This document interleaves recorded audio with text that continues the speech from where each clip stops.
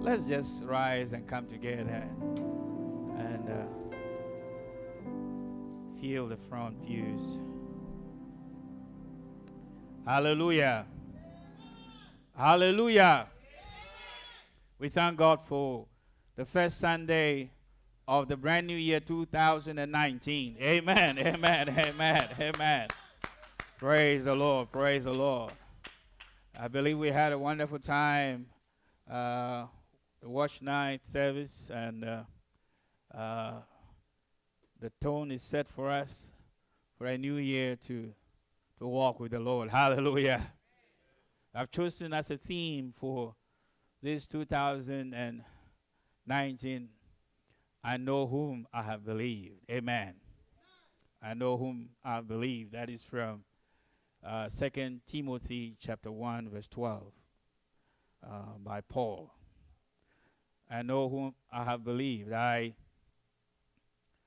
I remember when I was uh, growing up in elementary school, must have been, I think, the fourth or the fifth grade. Uh, in those days, uh, we lived in the military barracks. My father was in the army at the time.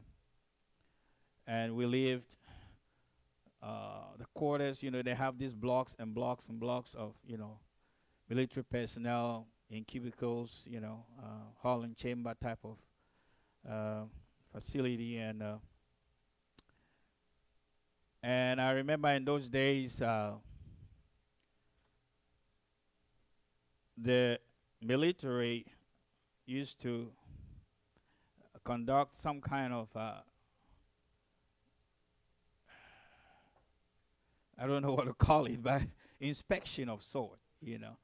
It's a drill. Yeah, they they'll they will come in the uh, into the barracks, every family's uh, residence. You know, they'll go door to door, and on the veranda, you know, every every uh, apartment has a veranda. You know, you set up your military uh, hardware, you know, uh, that the backpack, you know, the water bottle, you know, it's a whole few things, and then I think uh, there's a, a bayonet, you know, a few things, you know, to set it up. There's a way to arrange it on the on the floor.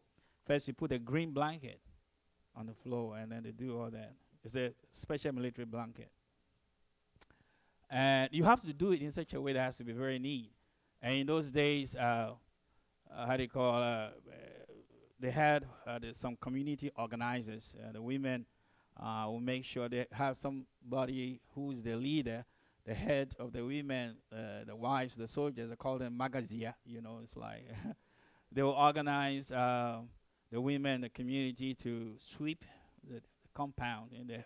Because the whole thing is is is it has to be clean discipline everything must be neat. Everybody must be dressed. In fact if your children are in the house that day uh, you got to make sure they are you know taking a shower everything you're dressed nice and you sit uh, there you know because when the officers come by to inspect and they find any problem you know anything that is questionable that day your father your husband is in trouble. They will make him go to the square and, you know, run around so many times carrying a rifle like that, you know. So it, it was kind of like, you know, man. and uh, I, I remember at that time, our next door, uh, actually, not directly next door, probably about two or three flats between us, I was very young soldier, very, very young man, uh, as I recall, very young man. He must have been in his 20s at best, yeah. I think he must have been a very young man. But he bragged the Lord about being spiritually strong man. Uh, so he dealt very much in voodoos, you know. And uh, so on one of those inspections, uh, we observed that the officers that were, you know, going door to door to do, you know, they were taking time. It was dragging because they found some problem somewhere, you know, trying to address it, you know, because they have to go block by block, block by block. And when this is happening, the whole neighborhood is just quiet, you know. So um, this young soldier, you know, came to my father because my father, you know, at the time he also uh, kind of he believed in this kind of things, you know. And uh, this man came and told my father, you know what? Uh, this officer today, he's not going to complete his assignment. By the time he gets to my, you know, my neighbor, he's going to turn back and say, I'm tired. Wow, man. and he was carrying a talisman, and he put it um, under the blanket somewhere, you know, on his veranda, you know. So we're all waiting, waiting, waiting. This officer was going, and the, usually the officer has maybe two or three other, you know, people who are kind of like his bodyguard or whatever, you know. So they were going, they went that block, they came this block, and they come in this block. Man, and as a child, you know, like, because I was very young, elementary school, must have been fourth or fifth grade, and and the officer came all the way, and he was now at just the next flat to him, that young man's flat. And he kind of took a while trying to sort things out over there. And when he finished, it was just a shocking situation. He just said, Well, you know what? I'm tired. You know, I'm going. You know, that was it. it, it, it, that was it. I'm telling you, that thing made this young man very popular. Because it indicated that what he was practicing, he believed in it and it was very effective, very powerful. So we didn't get to be checked that day. You know, it was, uh, you know.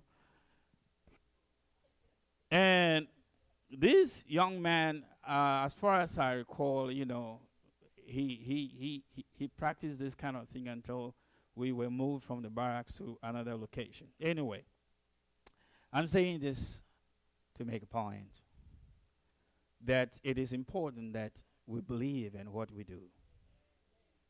Amen. We got to believe in what we do. Um, I don't know, but like when we come here and we study the Bible and we pray. For instance, I don't know how many of you even speak in tongues, you know, like when we come here, we speak in tongues, we are praying because it's, it's a corporate time. I don't know how many people even speak in tongues with conviction. Or even when you're praying to God, you, are you doing that with conviction? What is it that is driving uh, your behavior when you come into this environment? You know, uh, this year, I think I told you uh, um, that I want to spend some time to try to educate ourselves, you know. And I bought a book. Um, it's, it's, it's, it's a st strong academic book, but I'm not going to go that route. I'm just reading for uh, setting strong uh, points that will emphasize the truth in the scriptures so that I can communicate this. But uh, our general theme, like I said, for the year is I know whom I have believed. And so I want to start with that from today. And as the Lord gives the opportunity, I would like to uh, glean some information from different sources uh, of the book, different chapters, and try to communicate this. Uh, of course, I, I also just allow the Holy Spirit to direct me and infuse things that I, you know, he deems necessary just to make the message complete. All right, so uh, today's title is just going to be the theme for the year.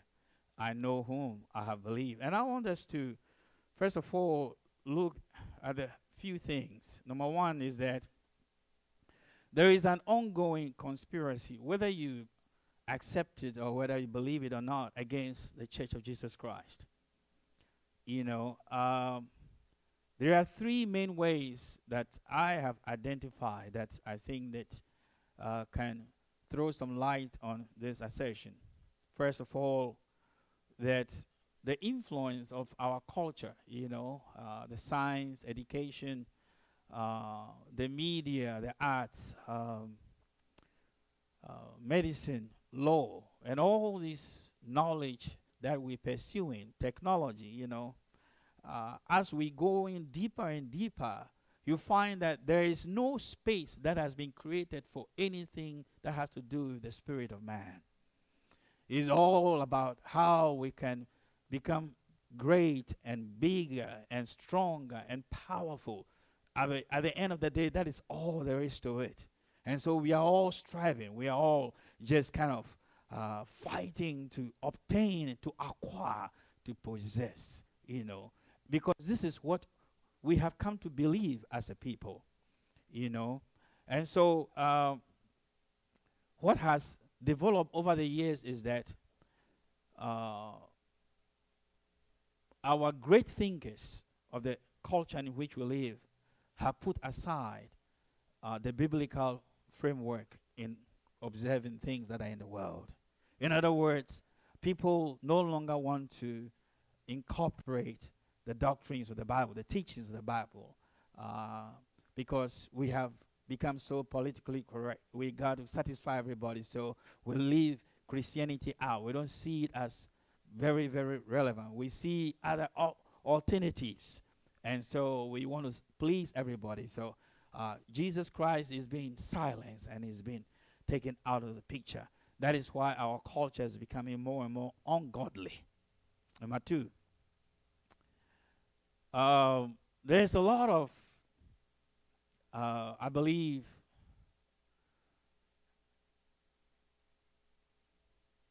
some perception of the world community that we Christians don't really know what we are about. That the faith that we profess is just a fairy tale, it's just fiction. Okay? Um, so, a lot of us who go to church, a lot of us who uh, carry the Bible, it is because we have challenges in our lives.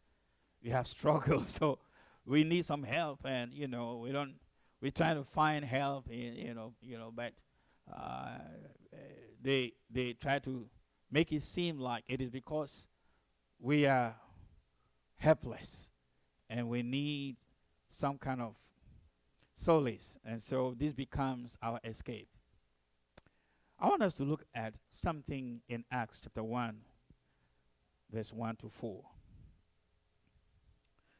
acts chapter 1, verses 1 to 4. It says, The former treatise have I made. This is, was written by Dr. Luke. There were so many different people who wrote the scriptures. Uh, this is one of them. He is a doctor, but we know that there were others who were fishermen. Um, different people. Some were shepherds, you know, in the Old Testament and stuff like that. But this man, he was a doctor, and this is his account.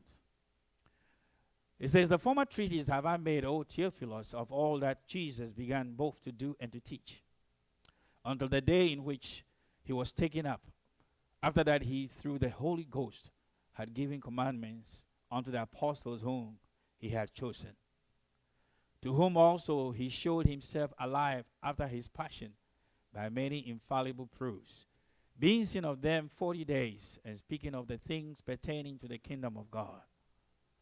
And being assembled together with them, commanded them that they should not depart from Jerusalem, but wait for the promise of the Father, which said he, Ye have heard of me. Amen. And so we know that Luke was speaking concerning Jesus, and he wanted to make his point because he had encountered Jesus and he wanted to make his point very clear.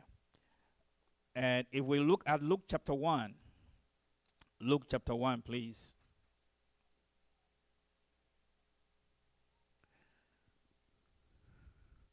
Luke chapter 1, verse 1. It says, For as much as many have taken in hand to set forth in order to in order a declaration of those things which are most surely believed among us, even as they delivered them unto us, which from the beginning were our witnesses and ministers of the word. It seemed good to me also, having had perfect understanding of all things from the very first, to write unto thee in order, most excellent Theophilus. Verse 4 that thou mightest know the certainty of those things wherein thou hast been instructed. Amen. And so, uh, Christianity actually is based on facts, some events that happened and were witnessed by living people, people who live on this earth. So it is not something that just happened out of, you know, uh, space. It is not a myth. It is truth. It happened. So anytime we are handling the Bible, anytime we are talking about the scriptures, we must carry it with some assurance and certainty in our hearts that this is gospel. This is true. You know, if we have that approach, it makes our faith in the Lord more solid. So when you hold on to the word of God, you know that you are dealing with something which is real. I believe that if uh, a man leaves some legacy for his children, and the man passes on, and the wealth is, you know, passed on to the children, and they have access to it, there's nobody who is going to say that you don't have that wealth. It is a fact. The documents will be there to indicate that it belonged to them so they can decide to use it anyhow they want. You cannot tell them that, oh, it does not belong to you because you are not your father. No, no, no. It has been passed on. It is truth. Hallelujah. So we also have received something that has been passed on to us by people who were just like us. And they made sure that they presented it to the next generation and the next generation and the next generation. And it has come to us. Now we also have received the word, but do we believe it? Are we carrying it with certainty in our hearts to present to the world that this is life? So, the second point I want to just establish here is that the world is trying to say that we are dealing with something that is fictitious, something that is not true. You know, I remember when I was in high school, uh, you know, uh, some of the my peers in, in the who were in the dormitory because we all uh, we had a, a, boarding school and uh, there were some of the students in the dormitory they were making fun of us those of us who were attending the scripture union and they were making I forgot one of the songs but one of the songs that they would you know they would take it and be clapping their hands and and be making mockery of us that you know because we we we are just thinking about just going to heaven you know uh, whatever we are suffering here on earth, you know, something like that. You know, just making fun of the whole thing like it is not a reality, you know. And sometimes it can be very embarrassing when you don't know the whole truth. And so to be a Christian can be a challenging thing in this culture and society. Number three, uh, which is to me perhaps the most important thing, is that uh, the world in which we live does not believe that Jesus lived, died, and rose again from the dead. This is the key, the cornerstone of our faith. I wonder how many of us believe that Jesus actually rose from the dead. You can see how in the Western world, you know, um, when it comes to Christmas, there's a lot, millions, billions of dollars spent in commercial activity such as what we just experienced in the past few weeks. A lot of gifts flowing, going back and forth. Is that all Christmas is about? But when it comes to Easter, just watch it. You don't see any commercials. You don't see anything that has to promote the crucifixion of Jesus and his resurrection because they don't believe in that. So it is not promoted, it is not pushed forward for people to know that this is life. And so Christ is regarded as weak. So you and I, do we really believe that Christ rose from the dead? Is he alive today?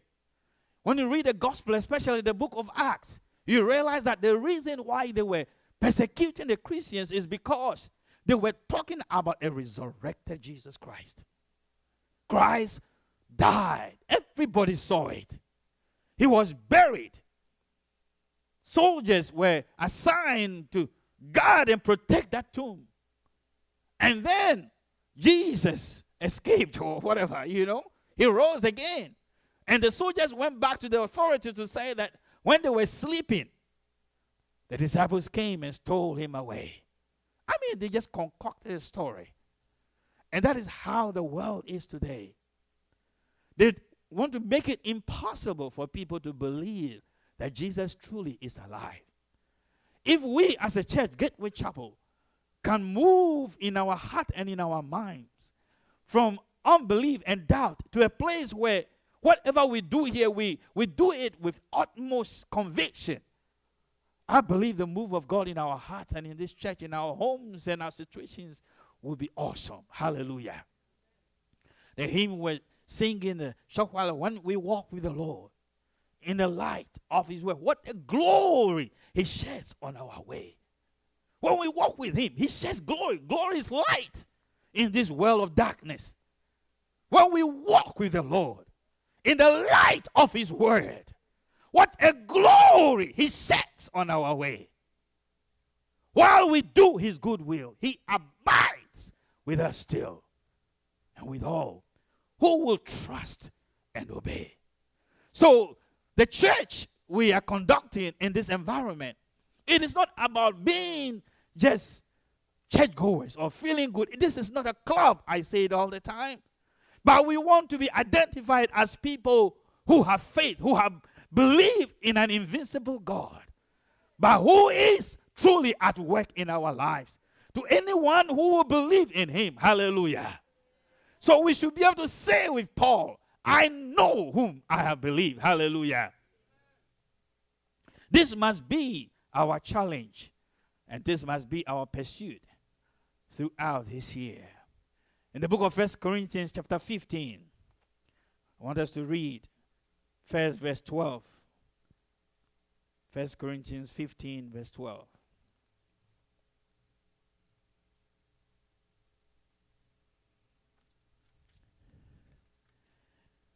Paul speaking, he says, Now if Christ be preached that he rose from the dead, how say some among you that there is no resurrection of the dead? But if there be no resurrection of the dead, then is Christ not reason.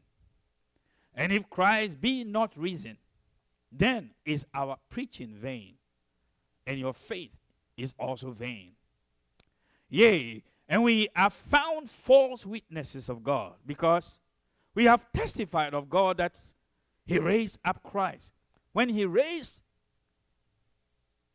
not up, if so be that the dead rise not. For if the dead rise not, then is not Christ raised. And if Christ be not raised, your faith is vain. You are yet in your sins. Then they also which are falling asleep in Christ are perished. If in this life only we have hope in Christ, we are of all men most miserable. Amen. Simply put, Paul is saying that, man, if this gospel we are preaching about the resurrection is just a farce, it's just some kind of story you're making up, then, you know, we are of all men most miserable.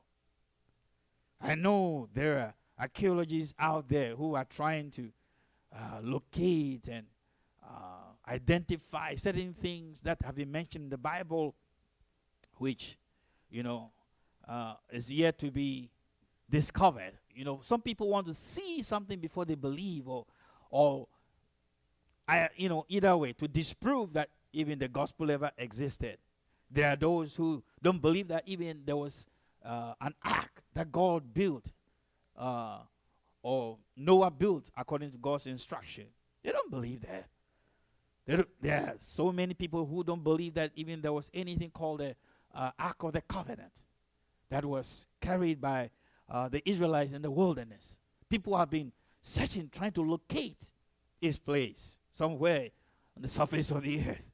You know, people are trying to do all kinds of things, you know, and uh, sometimes it's kind of interesting because God is invincible. So I don't know how by searching for him you can just find him in a specific location. Hallelujah. It's a spirit, he is spirit being. And so with our limited minds, we are unable to uncover everything about him. But he has revealed himself to us through the scriptures. And those who believe, God makes life so meaningful to you. And you find so much comfort in this journey of life. Hallelujah. Let's look at verse 1, the same chapter. It says, Moreover, brethren, I declare unto you the gospel which I preach unto you, which also you have received, and wherein ye stand, by which also you are saved, if you keep in memory what I preach unto you, unless you have believed in vain. For I delivered unto you first of all that which I also received, how that Christ died for our sins according to the scriptures, and that he was raised, sorry, he was buried, and that he rose again the third day according to the scriptures. You can see that he's repeating that according to the scriptures. According to the scriptures. So these are facts. These are documented facts. And that he was seen of Cephas, then of the twelve. After that, he was seen of above 500 brethren at once, of whom the greater part remain unto this present, but some are falling asleep. After that, he was seen of James, then of all the apostles.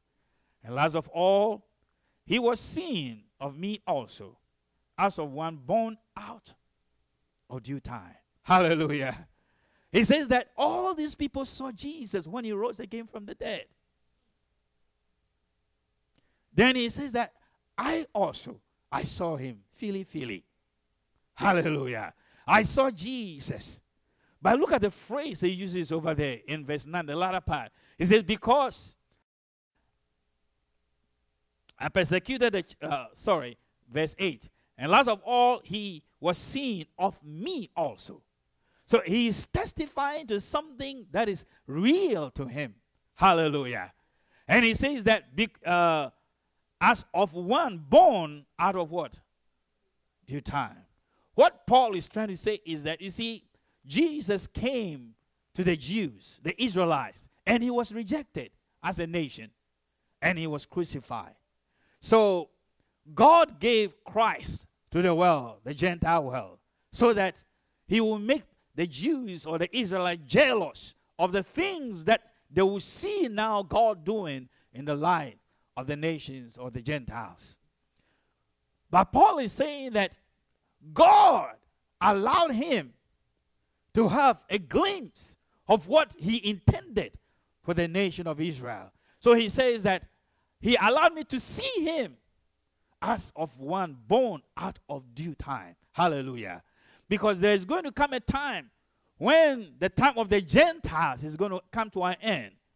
And then God will now turn his focus on the nation of Israel.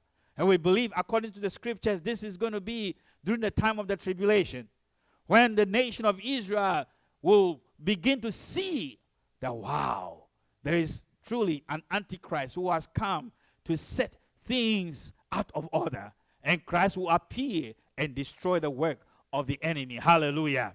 And as a nation, as a nation, they are going to accept this Jesus Christ as their Lord and their Savior. Hallelujah. But before then, he is saying that I have been allowed that rare opportunity to see this Jesus Christ. And he's the one I am declaring to you with conviction. It is real, it is true. Hallelujah. Church of God, if we are going to be a light in this community, if we are going to be the salt in this community, then we better be authentic. God did not bring us into this environment just because He couldn't take care of us. Wherever we were originated, Most of us are from Africa. Is it because God could not feed us in Africa? No. I believe that in the grand scheme of things, God has a time, plan, and purpose for everything that He's doing. Hallelujah. So our position here today, it is not just by chance. It is God who has planned and orchestrated that we should gather in this place to be light unto the darkness that is in this world. Hallelujah. And so we must do it with conviction. Jesus says, You are the light of the world. Amen. Paul said that if what we are hearing today, if what he's saying to them they don't, they don't uh, believe that Jesus rose again from the dead, then our, our, our faith is really, really in vain. Praise the Lord.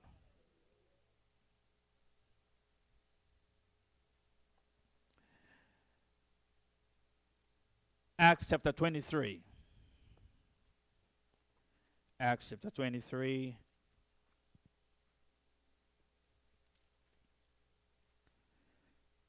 we want to talk about a little bit about the Paul's defense of his faith. You know, he he had to really, really go through a lot to defend the faith that he had committed himself to. At the peril of his own life, you know. And let's just allow the text to speak to us. Acts chapter 23, verse 1. And Paul, earnestly beholding the council, said, Men and brethren, I have lived in all good conscience before God until this day. So our conscience is very important. You know, conscience. I have said I have served, I've lived in all good conscience before God until this day. And high priest Ananias commanded them that stood by him to smite him on the mouth. Then said Paul unto him, you know, that statement he made, kind of like, I think in their culture, it was very disrespectful. Because it sounded like Paul is trying to say, look, I'm smart guy, you know. I know what I'm talking about. You know, you don't know what you're talking about, you know. That's why he was struck on the mouth, you know, because uh, he was before some dignitaries. And Paul acknowledged he didn't know that the high priest was one of them, you know, so he apologized. Anyway, verse 3 it says, Then said Paul unto them, God shall smite thee, thou what? Whited wall. For sittest thou to judge me after the law, and commandest me to be smitten contrary to the law?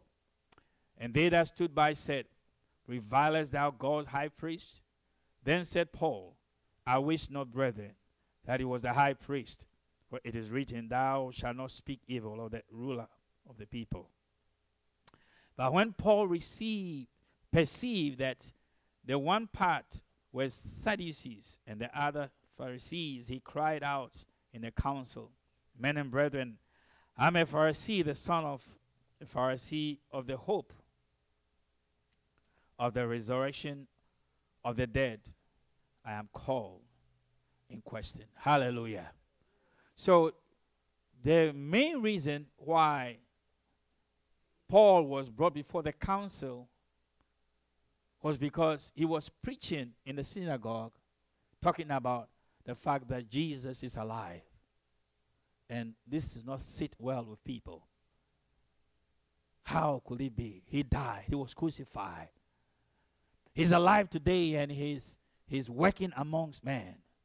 It did not make sense. And that is what we've been asked to spread around today.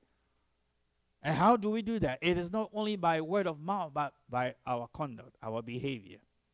That is what the Lord is asking of us to be able to bear witness to the resurrection of Jesus Christ. Verse 7 And when he had so said, there arose a dissension between the Pharisees and the Sadducees, and the multitude was divided.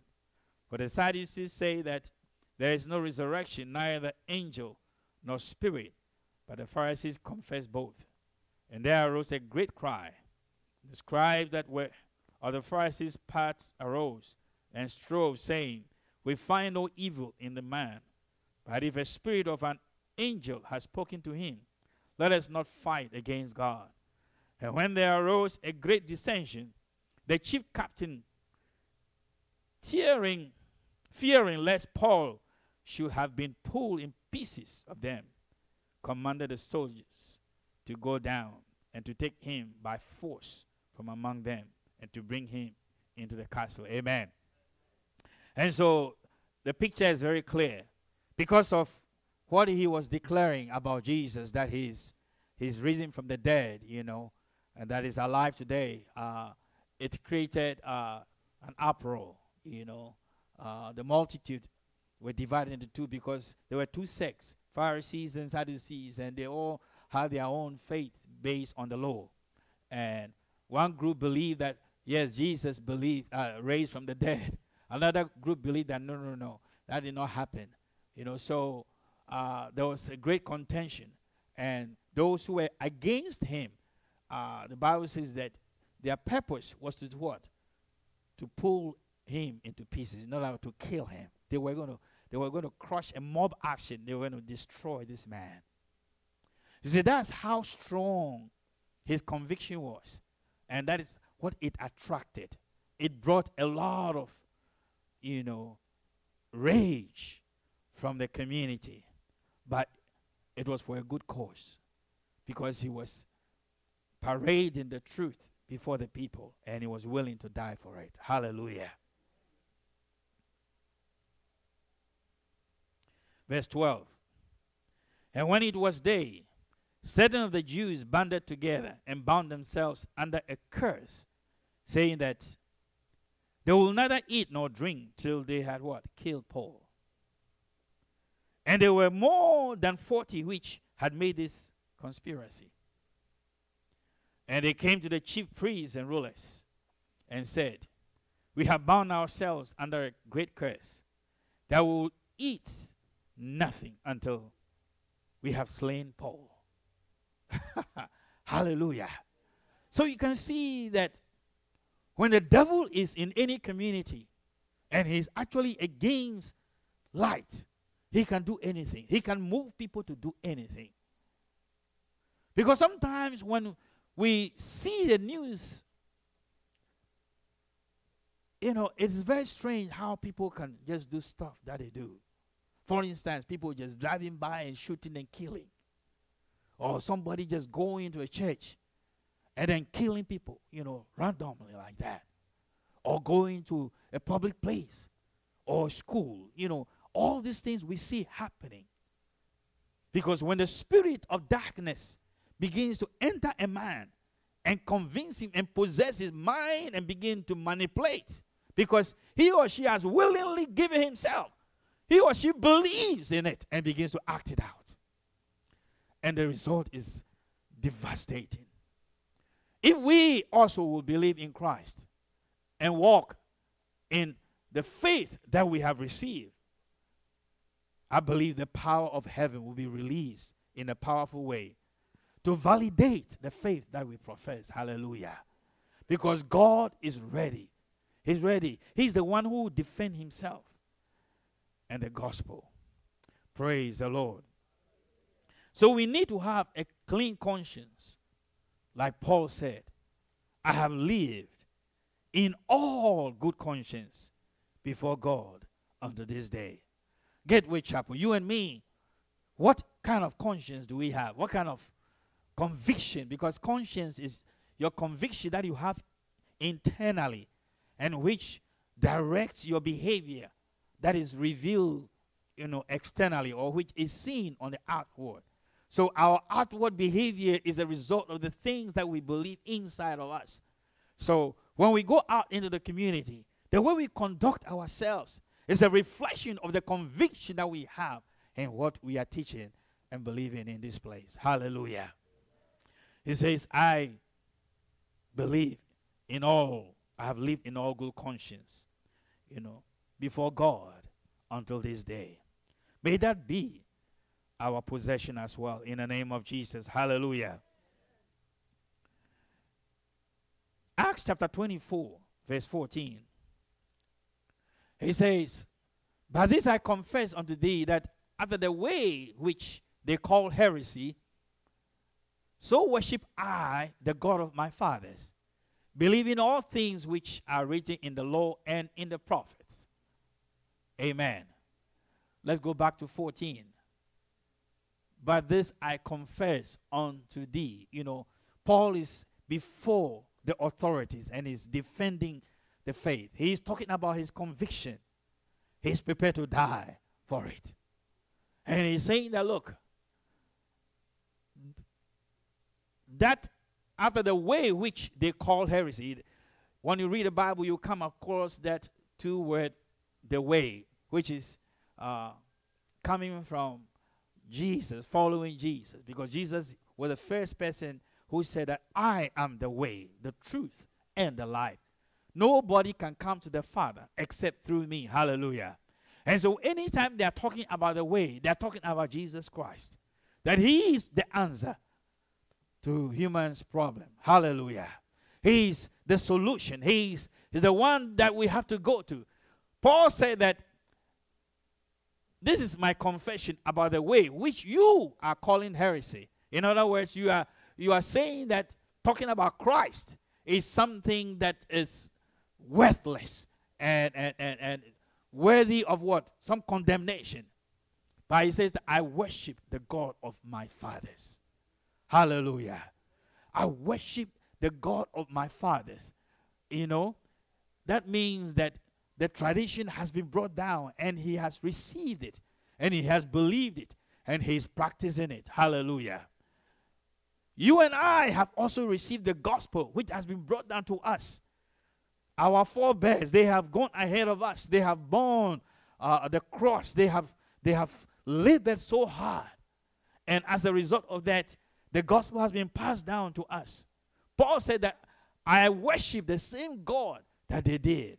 And I'm believing in all things which are written in the law. Hallelujah. I believe all things which are written in the law. So you realize that if you can begin to read the Bible consistently with an attitude of this is truth and I believe it, whatever is telling me, God is going to honor his word in your life. Hallelujah. He says, I am believing all things that have been written in the scriptures. Amen.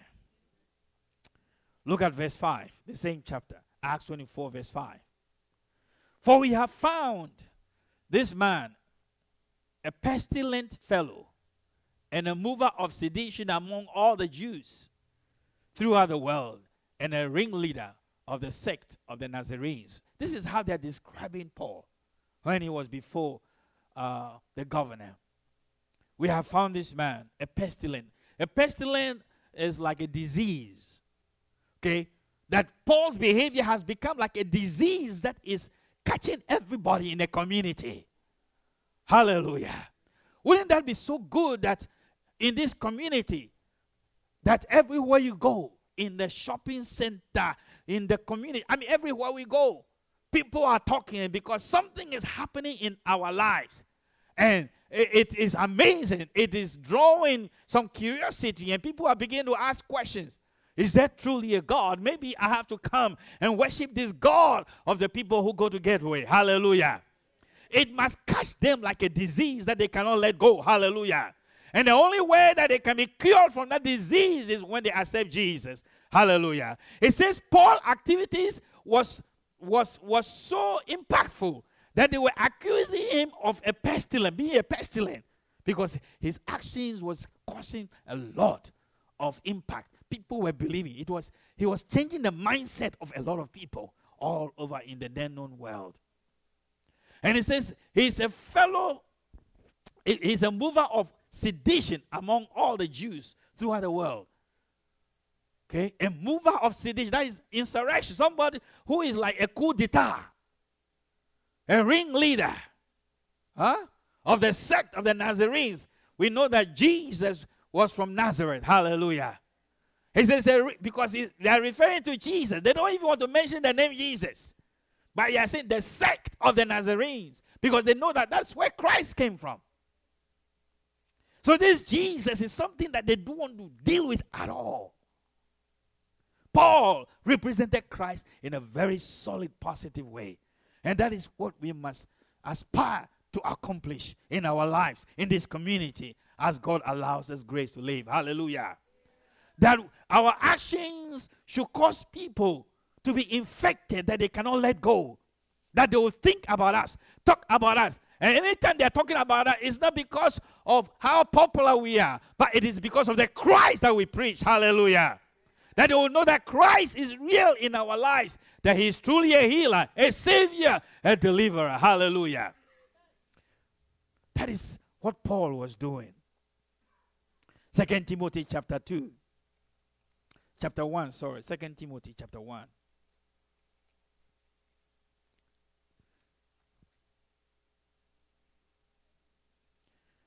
Paul made a number of statements in this chapter, and I just want to bring that to your awareness.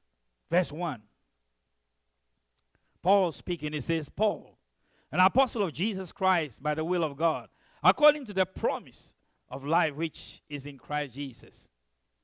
To Timothy, my, my dearly beloved son, grace, mercy, and peace from God the Father and Christ Jesus our Lord.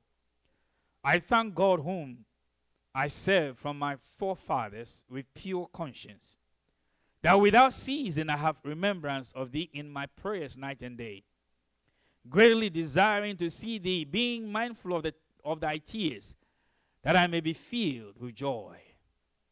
When I call to remembrance the unfeigned faith that is in thee, which dwelt first in thy grandmother Lois and thy mother Eunice, and am persuaded that in thee also Wherefore I put thee in remembrance that thou stir up the gift of God which is in thee by the putting on of my hands.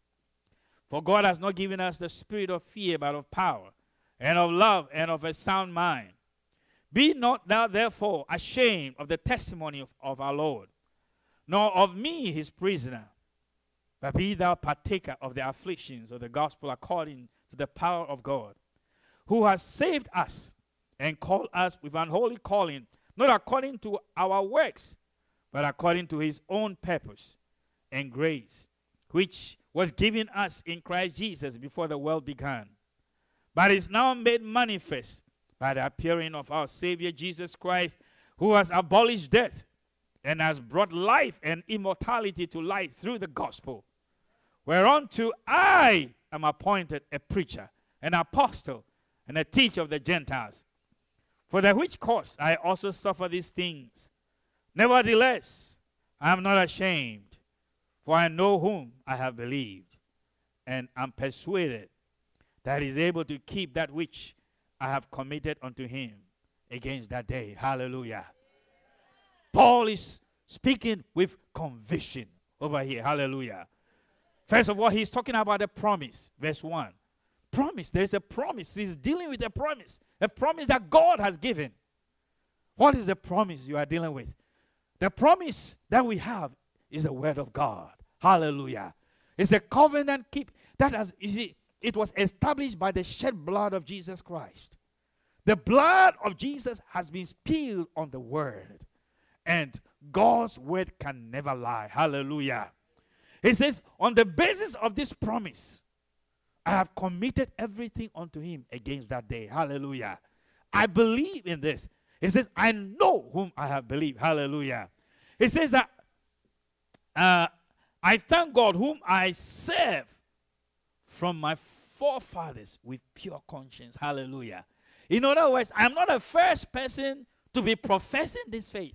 I'm not the first individual to be talking about this gospel. I'm not the first person to be explaining these things to you. My forefathers, people in the past, in ages past, they have believed the truth. God has kept and, and, and worked miracles.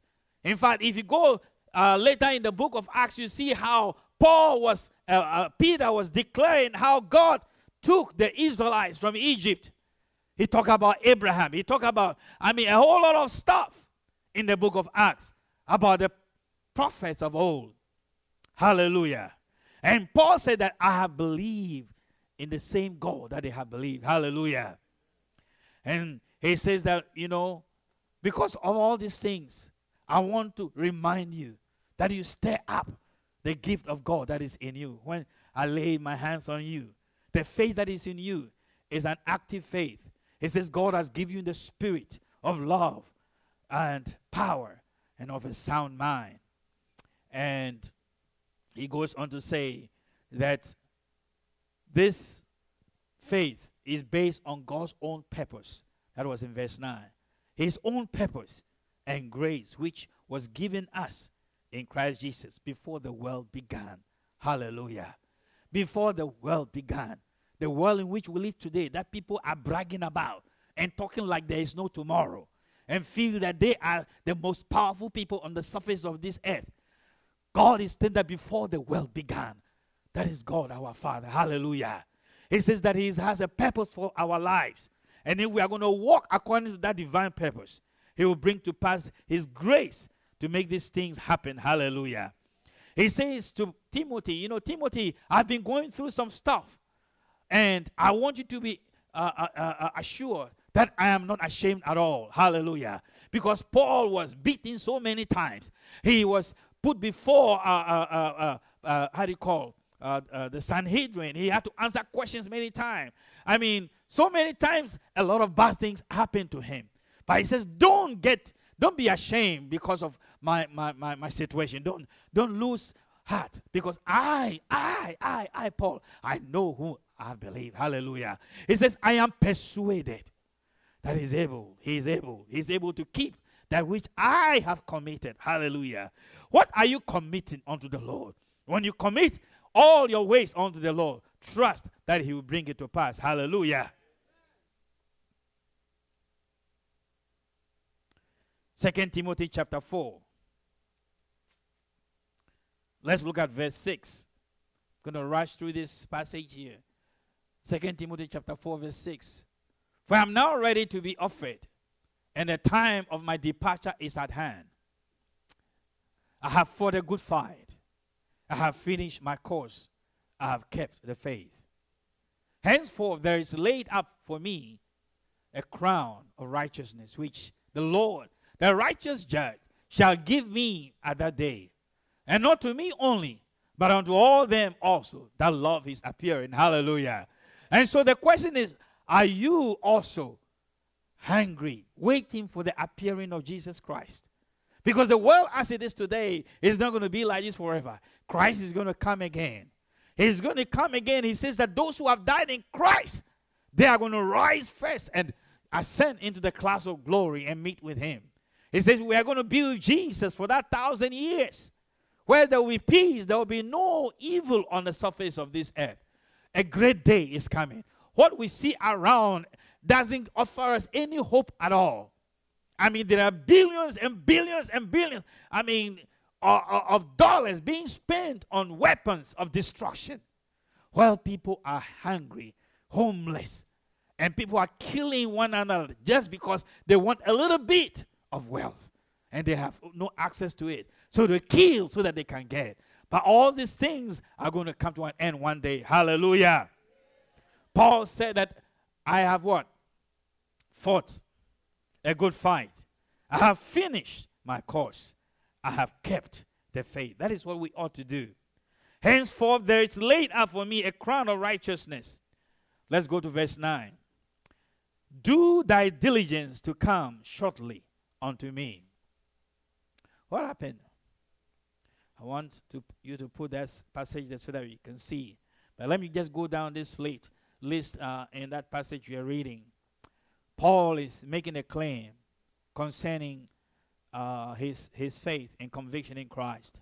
Number one, he says that the time has come for me to depart. Because at the time he wrote this letter, he was in prison. And he kind of felt that, well, the end has come. I'm going to be killed. You know, and he was writing this letter to encourage Timothy. So this is somebody who has lived all his life, you know, uh, after he became born again, after he became saved, he lived with total conviction. That's why he says that in all conscience, in all conscience. Let's continue. Uh, where were we? Verse 10. Go to verse 10. He says, Oh, go to 9. He says, Do thy diligence to come shortly unto me. 10. For Demas has forsaken me, having loved this present world, and is departed unto Thessalonica. Crescens to Galatia. Thus, Titus unto. Just pause here. So, this is Paul. You can see his humanity being revealed here. This is a man who has fought so hard for the faith, going around and preaching and trying to exhort and, you know, strengthen people. But it got to a certain time that he was going through a very, very difficult time when he was being persecuted. And some of the people that he had raised up, they began to turn against him because it's like they are saying, hey, if you say that you are somebody so powerful with so much revelation, how come you are having all these problems? How come they are putting you in jail? You know, how, where is the God? That kind of thing. You know, people will make mockery of you because of your faith, thinking that because you say you're a Christian, you're not supposed to face hardship. So he says, Demas, he has what? Forsaken me. Hallelujah. I pray that this church will stand by each other. Hallelujah. Because we believe in what we believe and proclaim. Then go to verse 11. It says, Only Luke is with me. Huh? Isn't that comforting? Just look. You remember Luke? Luke is the one who wrote and he was talking about his conviction that he has also taken upon himself to, to write to Theophilus about what he has witnessed. He says, Take Mark and bring him with thee, for he is profitable to me for the ministry. I pray that we will be profitable to each other. Hallelujah. When I'm around you and when you're around me, let my good deeds and, and, and the work of Christ, let it rub on you and let your good ones rub on me. Hallelujah. At the end of the day, we must all become stronger in the Lord. Verse 12. He says that, and Tychus, uh, what Tychicus have I sent to Ephesus. 13. The cloak that I left at Troas with Carpus, when thou comest, bring with thee, and the books, especially the parchments. You know, so again, I just want to go through all this so that you see certain things that were happening in uh, Paul's life. Number one, uh, some were departing from him. They were some of the best friends of the people that he raised in the faith. They kind of departed. You see, they left him, but it says that there were some who actually stood with him. And then he was saying that, okay, when you are coming to me, bring me the books and the parchments. You know, this is somebody who spent time studying constantly the Word of God, always wanting to know the things that have been written concerning Jesus Christ. That is why we must take time to read the scriptures for ourselves. Hallelujah. He was asking them, Bring me the books and the parchments. I need to be reading. I need to keep studying because this one that I am following is the real deal and I'm not going to let go. Hallelujah. Verse 14, he says that Alexander, the coppersmith, he did me much evil. The Lord reward him according to his own works. Hallelujah. You know, this is somebody who had mistreated him. And it, it, it is very painful. And we experience that sometimes in life. But look at what he's saying. Look at his approach. He says that the Lord reward him according to his own works. In other words, he's not taking matters into his own hands. Hallelujah. He's leaving him to God.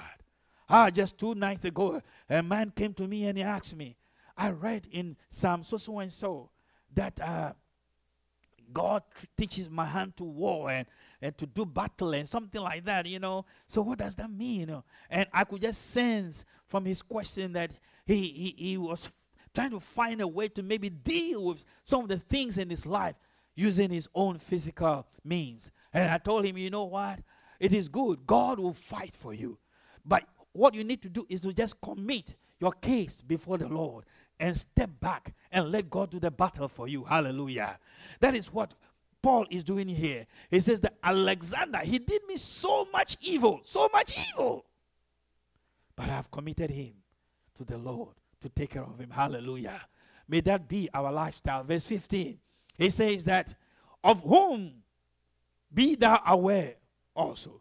For he has what? Greatly withstood what? Our words. Oh my God. Sometimes there are people in the church and they can be so dangerous that they will go behind and tell you that don't believe what they are preaching. Don't, you know, that, oh, I don't think that is true. I mean, all kinds of stuff. That is why it is important that you read the Bible for yourself and let the Holy Spirit deal with you and see if what is being said is true or not. Hallelujah. If you don't do that, somebody can tell you something and you just let go and say, well, after all, all this is just fairy tale.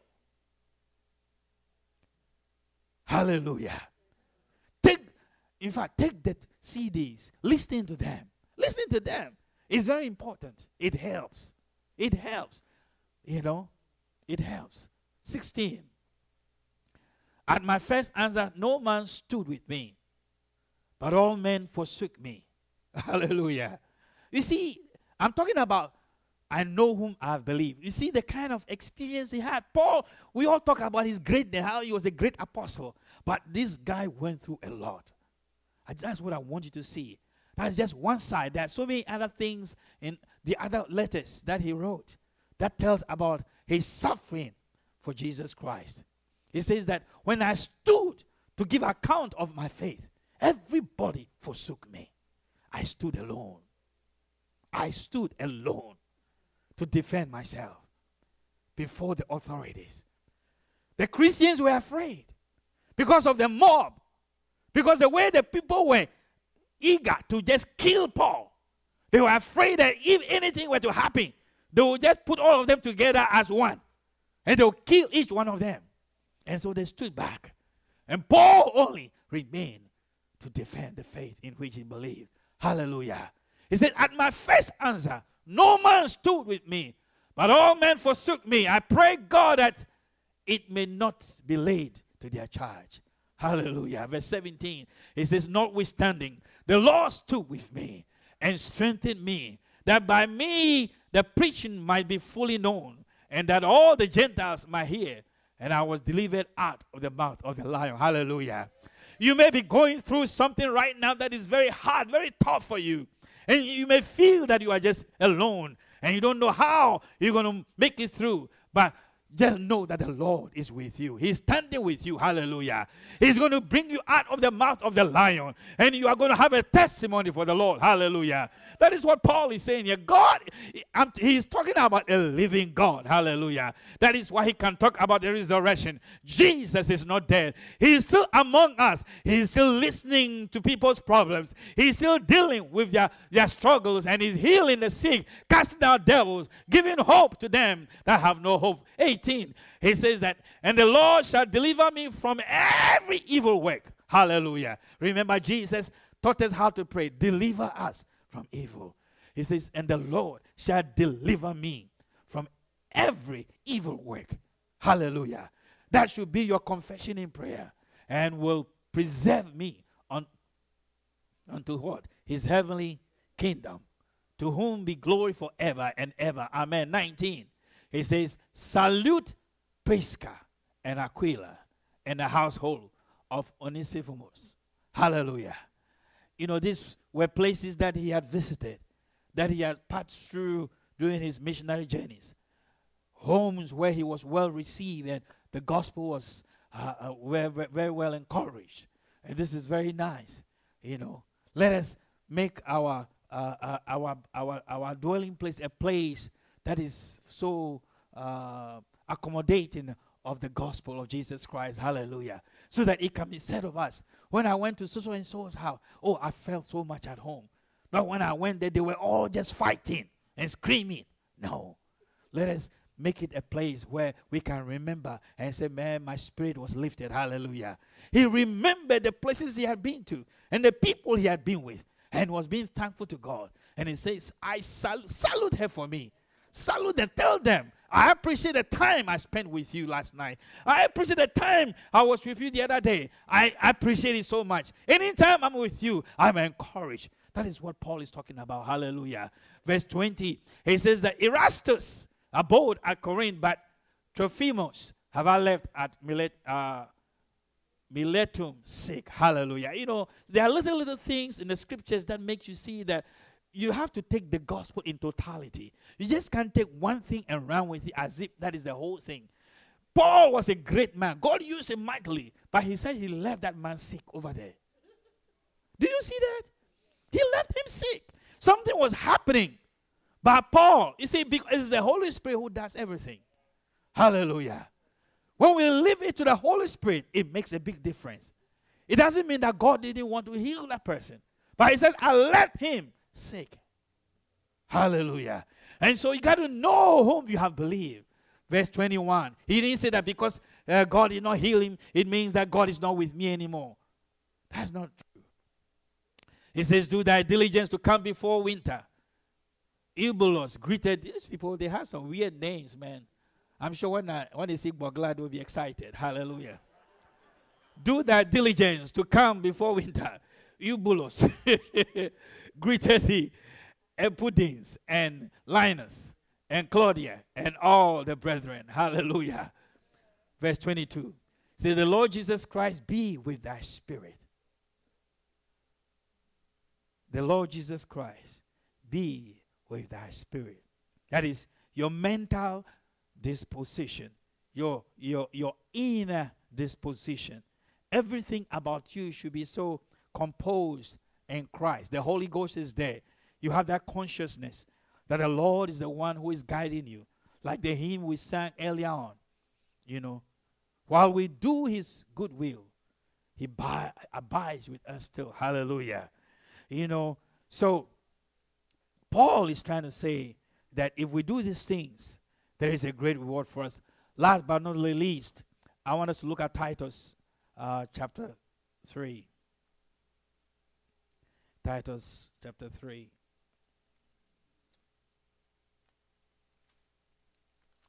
Let's look at verse 7 to 8.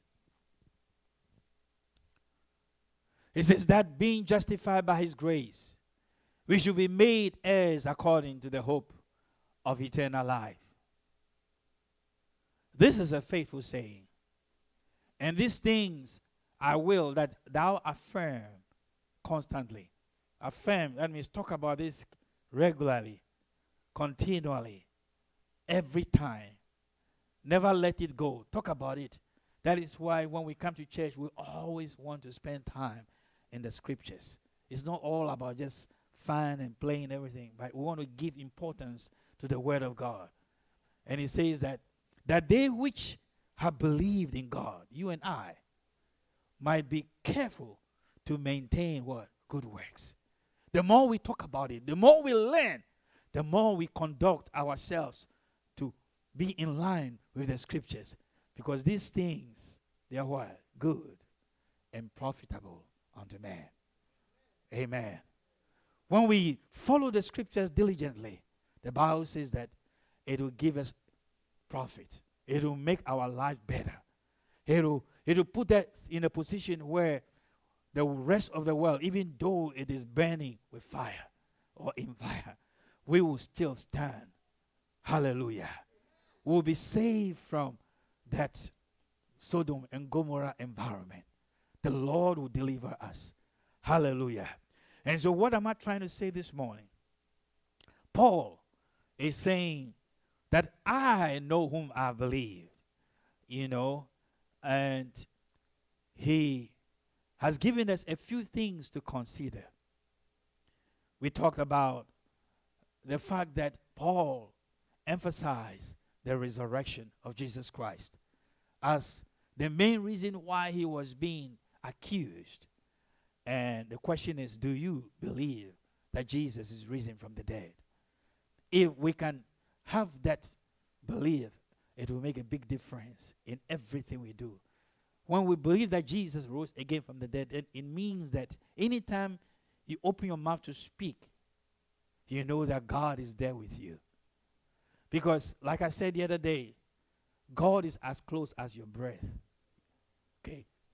The fact that you can breathe in and out means that God is in your life. Hallelujah. Think about it. And so just talk to God. Talk to God. So he's alive today. Paul talked about conscience. He says that I live in all good conscience. So we are trying to encourage ourselves to do likewise. Why do we believe? Why are we trying to do what we do? You know, uh, we, we want to move on and by the grace of God to do bigger and better things than what and where we are today. And it is going to happen only if we believe in what we are doing. Hallelujah. Paul talked about um, the fact that no, uh, he was accused, and they accused him of certain conduct, and it is just because he believed in what he was doing. They said he was the spreader of disease, a pestilent. You know, may it be said of us that we are actually distributing something that is worthy of consumption in this community. The people who are just waiting and desiring to participate and to fellowship with us. And that the work will become very impactful and the whole community will begin to become aware of it. Hallelujah. We see Paul getting close to the end of his life. When he was uh, in prison, begin to, you know, he, he wrote some letters to Timothy and others, and uh, he was encouraging them even when he was uh, in trouble. Of course, he mentioned how some people who were supposed to be close friends departed from him. And then there were others who were actually opposing and challenging the faith that he was professing. That is very pathetic. That you can have a brother or sister who once used to come to church with you, and all of a sudden they turn around and they begin to say all kinds of evil about Jesus and about the church, you know, that they once cherished. You know, that's what was happening in the life of Paul. But he says that I know. You may say all that you are doing, but I know whom I have believed. Hallelujah. May your conviction be real to you. May your conviction not be based on some kind of flimsy uh, reason, but on facts. Because these are people who have experienced Christ for real. And they have written, documented about it. And you have come and you are also taking it and you are using it. You got to believe it. You know, when I, I go to the car dealership and, and, and, and I look at the car that I want to buy, you know, or if I go to any store to purchase anything and I look at a product and I like it and the science has been done, you know, if I take the car, I sit in it, you know, I turn on the ignition and it begins to I hear the sound. I know, okay, I have to push this, you know. I just begin to move. And I believe that it's going to transport me from point A to point B. I just believe because people have done the research and they have come out with this product and they've told me that if I use, if I sit in this and, and, and I move and I steer this way, it will help me maneuver all the landscape and take me to my destination. Hallelujah. I don't question them. I just go and sit in the car and I drive and I go. But when it comes to the Bible, it is hard for people to believe that the gospel that has been passed down by our forefathers, it is because they had an encounter with God. And that is why they documented it. The Bible says it was inspired by the Holy Spirit. And we are sitting and we are doubting. But these are the people who experience God and they are sharing with us. Hallelujah. If, for instance, God were to appear to me in a very unique way today, and I come and stand before you and tell you that this is the experience I had, how many will believe? But this is what He has given us the Word, the Word, the Word. Let us believe it. Hallelujah. Paul said, I know whom I have believed. He says, The Lord Jesus Christ be with your spirit. That is the prayer I pray for you and for me today. That the Lord Jesus Christ will be with your spirit and my spirit so that we will walk with conviction and live the life of Christ in this community so that people will be drawn to Jesus. Amen. We'll take the communion.